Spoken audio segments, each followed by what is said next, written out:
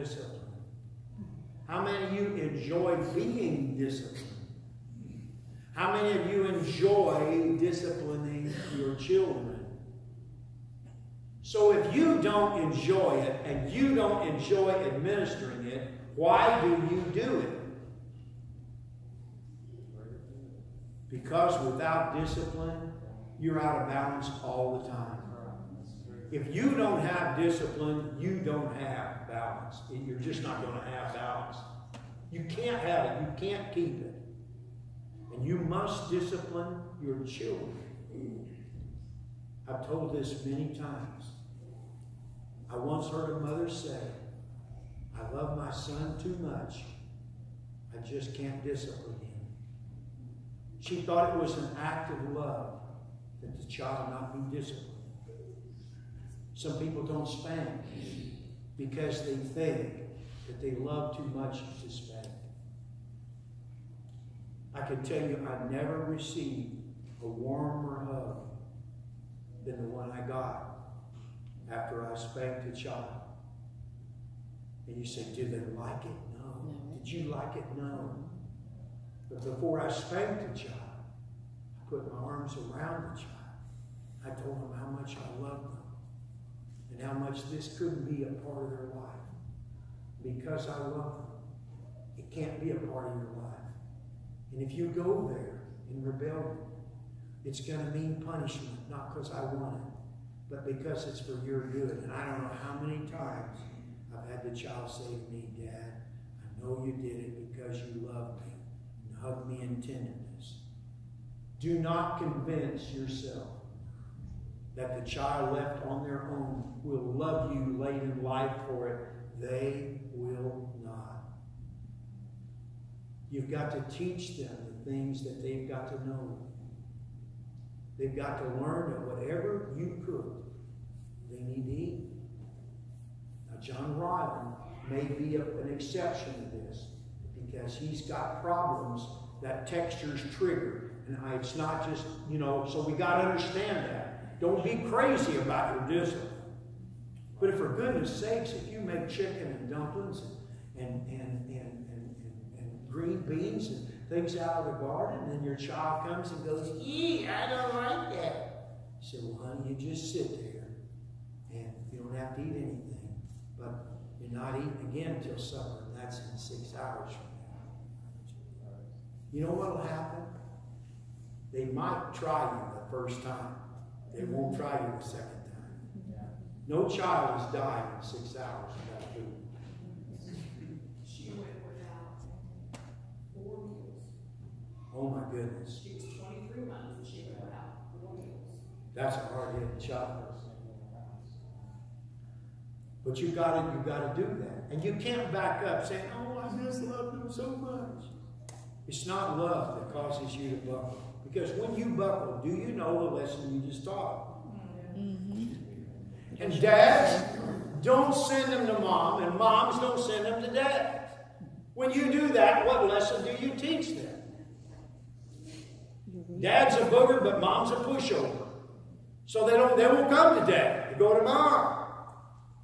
And mom will go, well, okay, honey, I think that'd be okay. You don't ask dad anymore. Mom, you know what you just did? You cut off all the legs off of dad. You just did it. You cut him off.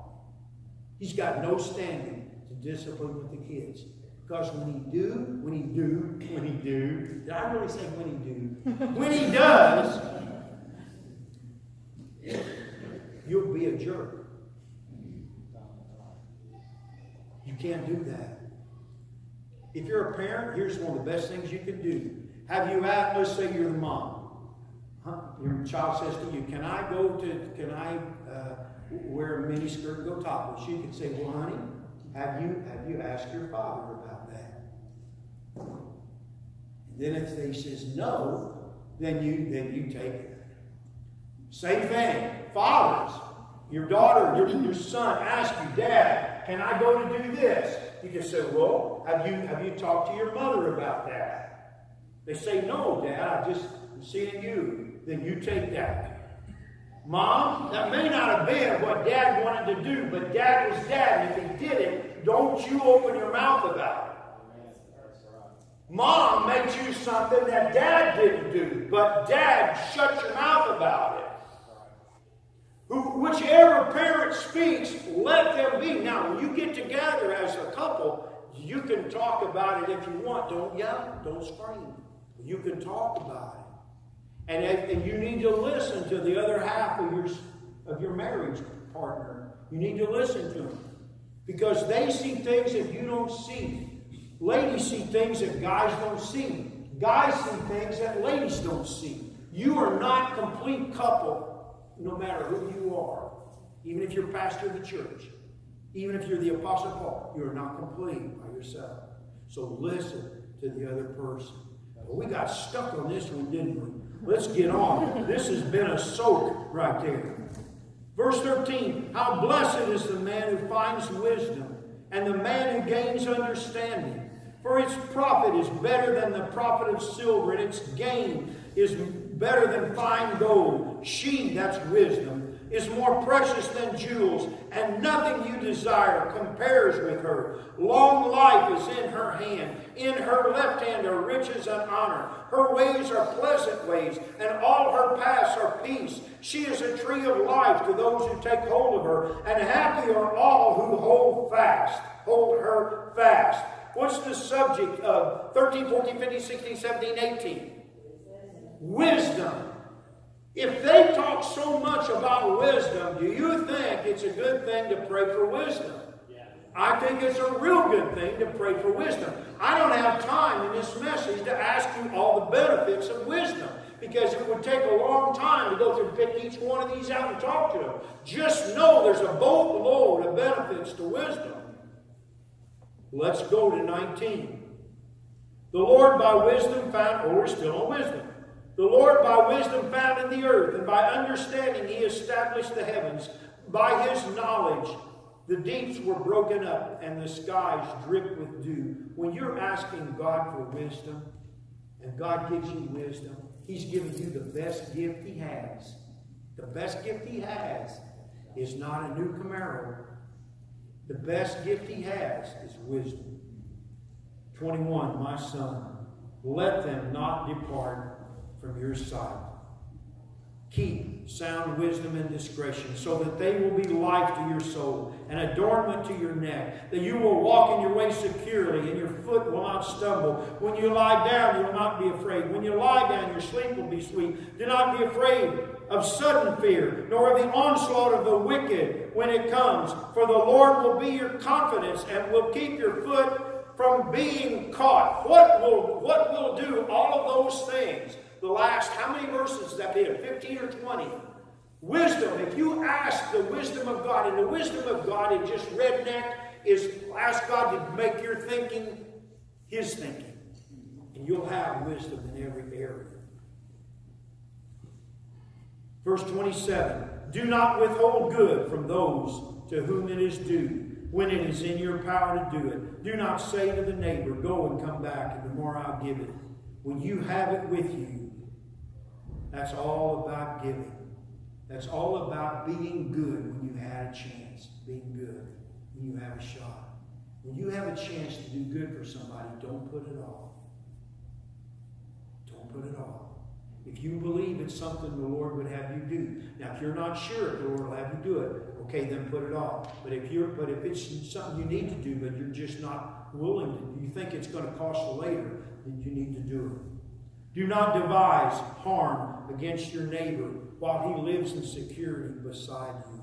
Do not contend with a man without cause if he's done harm, if he's done you no harm. Do not envy a man of violence. Do not choose any of his ways, for the crooked man is an abomination to the Lord, but he is intimate with the upright. The promise to you is if you will stay out of the ditches, the ones that you saw coming, if you'll stay on the narrow path, if you'll walk on the straight way, when you understand what the straight way is, what is the promise?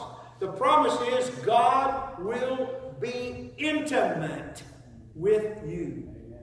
He will be intimate with you. You will pray and he will hear. He will speak and you will hear. You will ask because he put it in your heart to ask and he will answer it before you can get it out of your mouth. But you've got to develop that intimate relation. The curse of the Lord is on the house of the wicked. That is just a fact, Jack. But he blesses the dwelling of the righteous. That too is a fact. That's the tails of the head.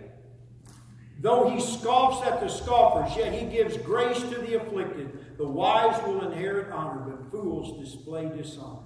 Now you say, Pastor, that is a that is a soaking. I'm my skin's turning to prunes. We've been soaking so long. Well, what I'm going to try to do, this is me personally.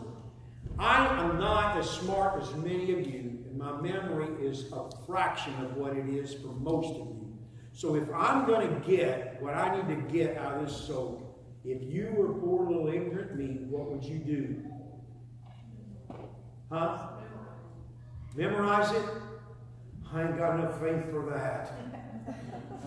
What? I just, I have had this happen so many times where I was reading something that impressed me, and then maybe the next day I'll come back and I'm thinking I'm going to read the next chapter, but the Lord would say, go back and read it.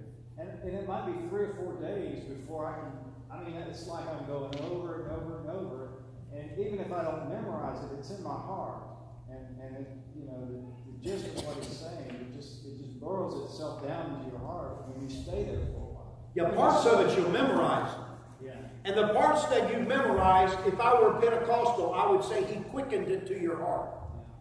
And the parts that he quickens to your heart will be the things that he brings to your mind when you need a shot. And if you need more of a shot, he'll bring you in for a soak. So, for me personally, I find that I have to, I'll probably have to go through it every day, probably for 30 days, before I'll get what some of you could have got. Caleb could get it through in one or two days, but it'll take me 30 days. It's just a fact. If it takes me 30 days, then it takes me 30 days, but I'm going to get it. Yes. And you can get it. I hope today, I don't know what the time is, I'm really getting hungry.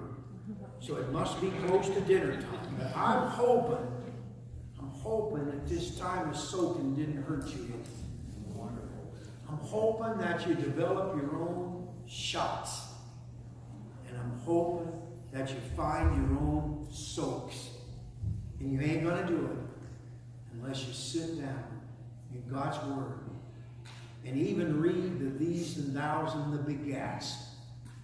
Go through it because oftentimes a shot and a soak is hidden in a place where you wouldn't have found it if you hadn't read Ecclesiastes or another like it. Amen? Okay. How many will do as I ask? Thank you very much. Jesus, I thank you that you're, you're, you're just true. There's just no other way to say it. We all know the truth of what you're saying to us about this. It's impossible to look at your word and not be filled, not be fed, not be encouraged and helped. It seems that way if you read just a little bit quick, but if you dig at it, if you dig, if you say, I'm not leaving until you bless me, you keep reading. I've never, ever, ever walked away from the scriptures without a blessing. Sometimes I had to read a little but I always found it. Because your scriptures are full of diamonds, full of rubies and gold and jewels and gems. Pearls that will never leave, never lose their luster. Lord, place your word within us. Give us the shots we need. Lead us to your soaks. And help us to remember those when we need them. In your name, Jesus, we'll give you the thanks and praise. Amen. Young people, we're going to meet in our house. We're going to have corn on the cob. We're going to have watermelon. We're going to have cheeseburgers.